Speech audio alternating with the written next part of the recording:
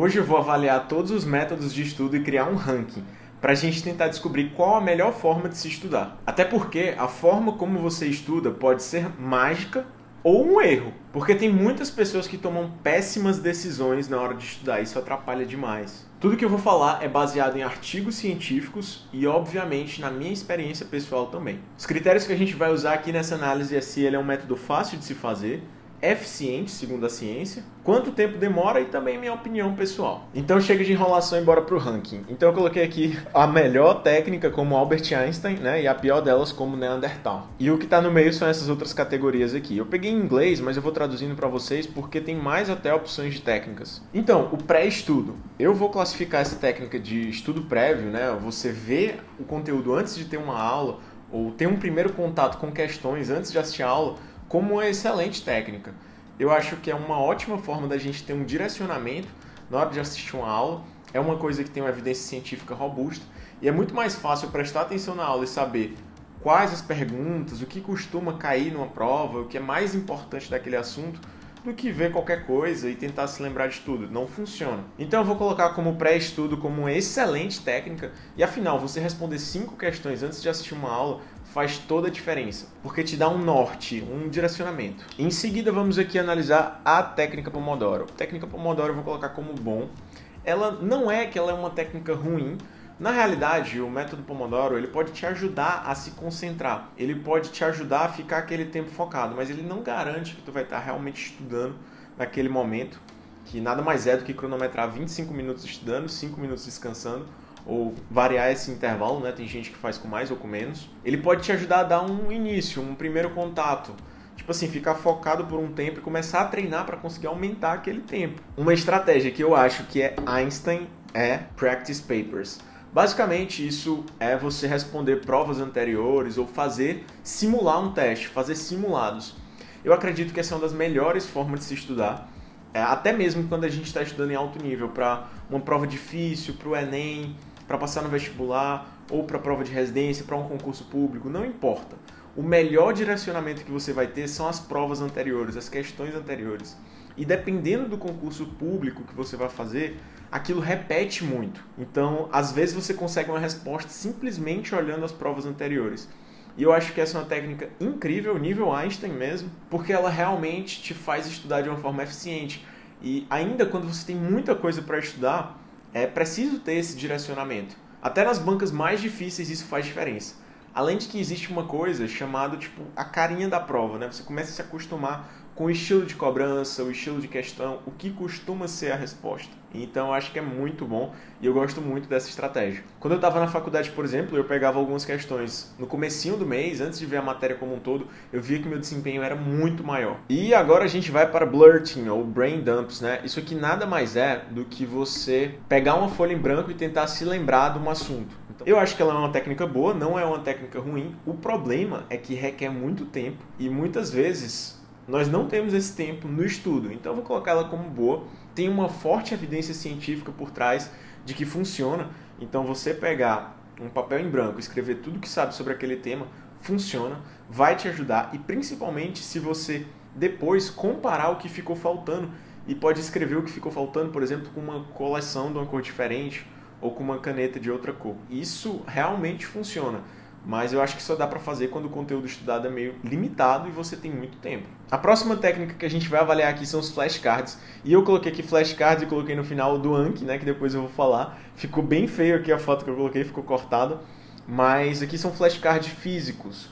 Eu acho que os flashcards físicos são excelentes. Você consegue levar para todo lugar, fazer os testes. Mais uma vez, o problema que eu vejo nessa técnica também é o tempo e o fato de você estudar tudo tipo assim, não tem um filtro, né? Pô, vou estudar aqui flashcards físicos. Aí você vai puxando 5 mil flashcards lá de um tema, 5 mil perguntas de um tema, como é, por exemplo, os flashcards de residência médica. Então você não direciona exatamente para o tema que você sabe menos, por exemplo, como acontece no Anki. Então esse é um ponto negativo, mas eu acho que dada as limitações e proporções, eu acho que pode ser sim uma técnica excelente. É, eu não consegui engatar tanto ainda, mas já usei em alguns pontos específicos e acho que é muito bom, e principalmente para fazer em grupo. Eu gostava muito do flashcard para perguntar para um amigo meu, fazer tipo um quiz assim. É legal pra caramba. E agora vamos falar de repetição espaçada, né? Que é essa é um princípio por trás, não é exatamente uma técnica de estudo, mas é o fato de você fazer um teste hoje e refazer o contato com aquele conteúdo daqui a 7 dias e depois daqui a 15 dias, depois daqui a 30 dias e, e espaçando essas repetições de uma forma que você consegue resgatar aquele conteúdo e fixar para o longo prazo. Definitivamente essa é uma técnica nível prêmio Nobel, nível Albert Einstein. Então vamos colocar esse princípio aí porque ele é o princípio de tudo que funciona para reter conhecimento no longo prazo. E todas as evidências científicas, a pesquisa do professor Danlowski, que é uma grande evidência, fala muito da repetição espaçada e é o princípio por trás do Anki, é o princípio por trás de você fazer questões e ficar revisando os conteúdos. É uma técnica que funciona muito. E nós, inclusive, na Médicos do Futuro, que é um banco de questões que a gente tem para estudantes de medicina, a gente quer colocar cada vez mais coisas de repetição espaçada e estratégias de estudo de coisas que têm evidência científica, que funcionem de verdade porque muitas vezes a gente tem dificuldade para estudar na faculdade e encontrar essas boas fontes. Então, a técnica Feynman, vamos colocar a técnica Feynman como boa. Ela funciona bem, você consegue aprender muita coisa com ela, mas depende de outras pessoas para fazer. Eu acho que tem momento para utilizar a técnica Feynman e nada mais é do que explicar um conteúdo desde o básico dele, né, desde o princípio básico, como se estivesse explicando para uma criança ou até para o seu colega com uns termos simples. Então tentar simplificar aquele conteúdo. É uma técnica boa, só que demora muito tempo, dá muito trabalho para fazer. Eu acho que existem outras estratégias muito melhores, tipo responder questões, que você vai mais rápido, mas tem momento para se utilizar essa técnica também. Então vamos saltar aqui um pouco, vamos para escutar músicas. Cara, eu acredito que essa técnica aqui de escutar músicas seja uma estratégia Neandertal. Desculpa falar, mas é a minha percepção aqui. Existem pesquisas científicas que você escutar músicas, principalmente que tem letras, realmente atrapalha, prejudica o seu estudo. Mas escutar, por exemplo, aqueles sons ambientes pode te ajudar e pode ser que funcione para você.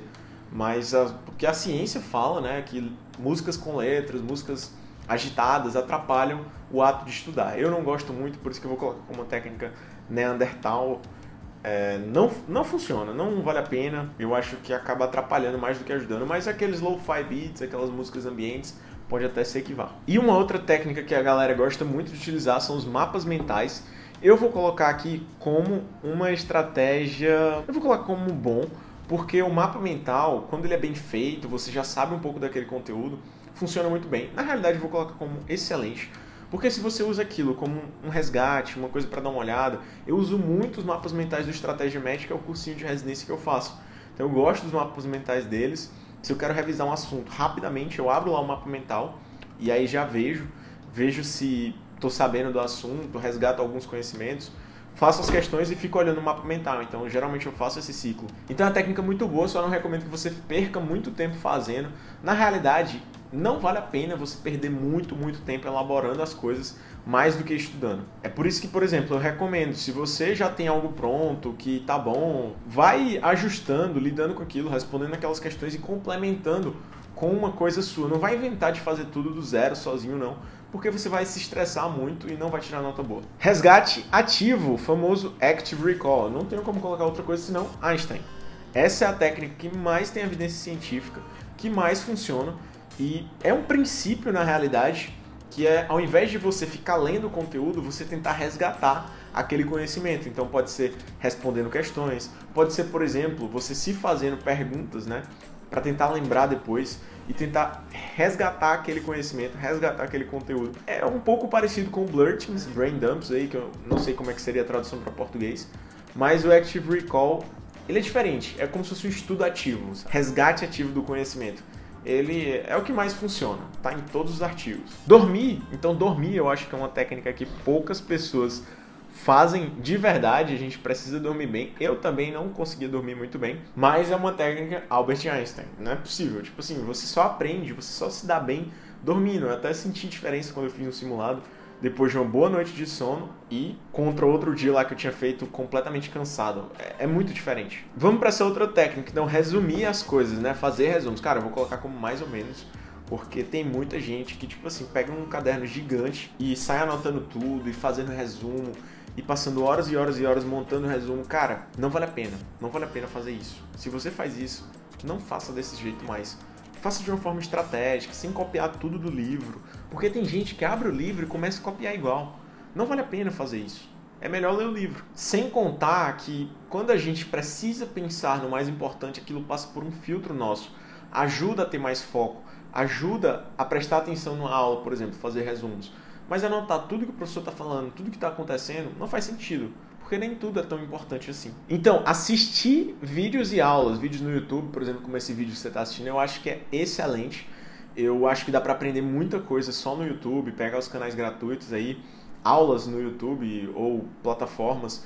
É muito bom, é uma excelente técnica. Não vou colocar como Albert Einstein porque não tem resgate ativo, não tem estudo ativo, você não resgata aquele conhecimento e fica lembrando no longo prazo. Mas é uma excelente forma de se expor aquilo e é rápido e fácil. Então você consegue assistir uma aula e compreender o conteúdo pela primeira vez. Acho que vale muito a pena procurar um vídeo, principalmente quando é seu primeiro contato com o conteúdo e tem evidência científica sim por trás disso tudo. Mnemônicos, então mnemônicos, cara, eu acredito que é uma excelente técnica também. Os mnemônicos, ele te ajuda a lembrar uma coisa, tipo, uma sigla que vai te fazer lembrar de uma síndrome, de uma doença eu adoro mnemônicos, eu não consigo me lembrar da maioria deles, mas quando é uma coisa bem legal, assim, que eu consigo me lembrar, tipo cometa para dengue, que é cefaleia, orbitária, mialgia, exantema, temperatura e artralgia, se não me engano é isso tudo. Então cometa, que é o mnemônico dos sintomas que pode ter na dengue. Então me ajuda a lembrar isso. Por exemplo, aí da criança com cardiopatia congênita, é como que a gente vai conduzir ela, né? O BOPS, né, que eu esqueci o que é o B, aí o oxigênio, P, posição de gênio peitoral, é... Tem que estudar mais, hein? O S é de sedação. Você vai dar uma sedação leve na criança. Enfim, vou já tentar relembrar esses detalhes que eu acabei esquecendo. Mas vamos para a próxima técnica aqui. Então, o sistema de anotações Cornell. Para quem não sabe o que é isso, é uma técnica que eu usei muito, principalmente no final do meu ciclo clínico da faculdade de medicina. Então, quando eu tinha uma aula, eu gostava de fazer 10 perguntas, 15 perguntas para tentar memorizar aquela aula. Então, por exemplo, precisava saber qual a doença que a gente está estudando, tipo, o que é insuficiência cardíaca, qual a classificação de insuficiência cardíaca, qual o tratamento de insuficiência cardíaca. Com essas perguntas eu conseguia meio que memorizar tudo da aula e eu levava aquelas perguntas para casa para tentar responder depois. Então, ao invés de eu fazer um resumo simplesmente anotando as respostas, eu fazia ele em forma de perguntas. Eu acho que é uma excelente estratégia para fazer um resumo ativo e definitivamente eu vou colocar aqui como Albert Einstein porque funciona de verdade, você aprende o conteúdo. É muito melhor do que fazer um resumo só ficar anotando as coisas. Faz diferença pra caramba. Eu testei essa técnica, inclusive a gente tem até um template que chama Organiza Med. Eu vou deixar o link na descrição desse vídeo, você consegue assistir lá e ver como que a gente usa e consegue também ver como que faz para adquirir o template. Lá tem os formatos de perguntas já pronto e você consegue organizar toda a sua faculdade em um só lugar. Então vamos para a estratégia que é a maior vilã do mundo e na realidade a maior vilã de todos os estudantes, de todos os artigos científicos e a técnica mais neandertal que eu falei aqui hoje, que é definitivamente ficar lendo e relendo o conteúdo e sublinhando. Na verdade, as pesquisas testaram isso em vários contextos com estudantes, com estagiários da Força Aérea Americana, testaram isso com diferentes assuntos, estudando geografia, estudando matemática, estudando tudo e não funciona. Todas as pesquisas falam isso como baixa utilidade. Ah, mas eu gosto de ficar lendo e relendo e gosto de sublinhar. Mas não vai funcionar. Saiba que você pode fazer isso, mas não é uma estratégia que vai te fazer memorizar aquilo ou aprender no longo prazo. Principalmente ficar lendo e relendo, porque ainda atrapalha, porque você cria um viés de familiaridade e acha que está entendendo o conteúdo. Mas quando coloca aquilo num contexto diferente, não funciona. Num contexto diferente, você não consegue se lembrar do que é importante e se esquece de tudo. Marcar texto pode até ser interessante para você pegar umas palavras-chave. O problema é sair marcando tudo, como tem gente que pinta a página inteira com marca-texto. Isso aí é horrível. Por fim, a última técnica que eu coloquei aqui é o Anki. Eu vou colocar como uma técnica excelente, porque eu não consigo engatar tanto no Anki, acho ele muito bom. Ele é muito bom principalmente para imagens. Eu tenho um deck meu de imagens que eu gosto de ver imagem de exame, imagem de ultrassom. Eu salvo lá no Anki, mas não consigo engatar tanto. Eu acho muito melhor fazer questões. Pelo menos para mim funciona melhor. Engraçado que aqui não teve tanto de questões, né? Mas é como se fosse o teste prático ou provas antigas.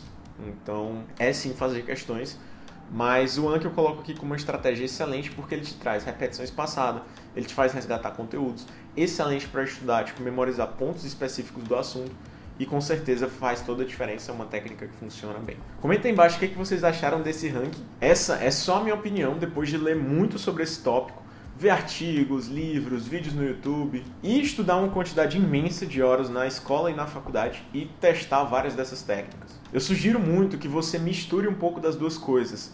Não pegue só o que está aqui no vídeo e faça o que mais funciona. Misture um pouco da sua experiência pessoal e com o que funciona segundo a ciência.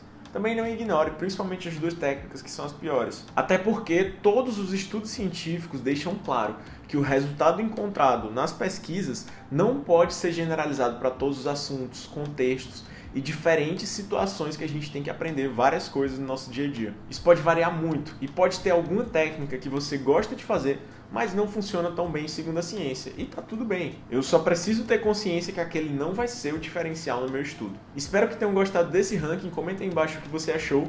E se quiser ver um vídeo onde eu mostro como que eu estudo mesmo sem estar tá motivado, mesmo sem estar tá com vontade, é só clicar aqui ao lado e ver como deixar o seu estudo automático. Te vejo lá.